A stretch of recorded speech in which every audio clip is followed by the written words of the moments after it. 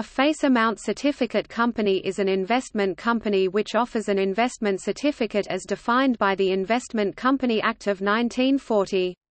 In general, these companies issue fixed income debt securities that obligate the issuer to pay a fixed sum at a future date.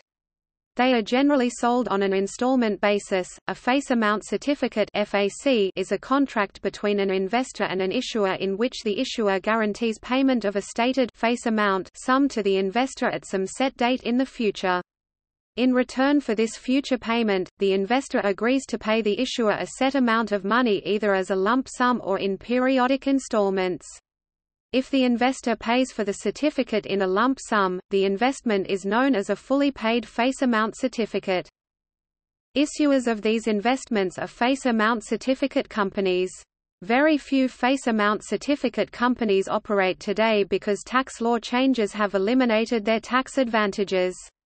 The most notable financial services companies in the face amount certificate business today are Ameriprise Financial and SBM Financial Group.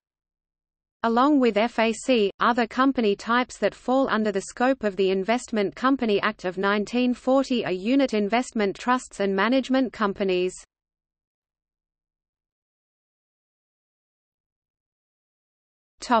See also ICA 1940 U.S. corporate law